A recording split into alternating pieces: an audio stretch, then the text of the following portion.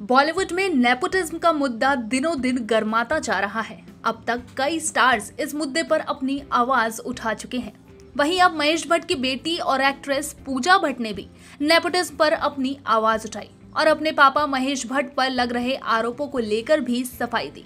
साथ ही एक्ट्रेस कंगना रनौत को भी नेपोटिज्म के मुद्दे में घसीटा और कहा कि कंगना को विशेष फिल्म्स ने ही गैंगस्टर फ़िल्म से लॉन्च किया था। महेश भट्ट की वजह से ही उन्हें बॉलीवुड में कदम रखने का मौका मिला। अब इन सब बातों के बाद कंगना कहाँ चुप बैठने वाली थी? उन्होंने पूजा को मुँह तोड़ जवाब दिया है और उनकी सरेआम धज्जियाँ उड़ाई है। कंगना ने ट्वीट किया और कहा कि मुकेश भट्ट को फ्री में काम कराना अच्छा लगता है। वो किसी को पे करना पसंद नहीं करते। टैलेंटेड एक्टर्स को फ्री में लाकर काम करवाना कई स्टूडियोज करते हैं। लेकिन इससे तुम्हारे पापा महेश भट्ट को चप्पल फेंकने का लाइसेंस नहीं मिलता।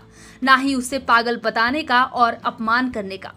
इतना ही नहीं, कंगना ने मौके पर चौका मारते हुए महेश भट्ट को फिर से सुशांत और रिया के रिलेशनशिप को लेकर घेर लिया। कंगना ने पूजा भट्ट से कहा कि महेश भट्ट, सुशांत और रिया के रिलेशनशिप में इतना इंटरेस्टेड क्यों थे? क्यों उन्होंने सुशांत के सुसाइड को लेकर पहले ही अनाउंस कर दिया था? ये कुछ सवाल हैं जो तुम्हें अपने पापा से पूछने चाहिए। कंगना ने बड़े ही कड़क अंदाज में पूजा भट्ट और महेश भट्ट की धज्जियाँ उड़ाकर रख दी। अब देखना यह होगा कि कंगना और पूजा भट्ट के बीच शुरू हुआ ये कोल्ड वॉर कहाँ तक जाता है? क्या पूजा भट्ट भी अब कंगना पर पलटवार करेंगी?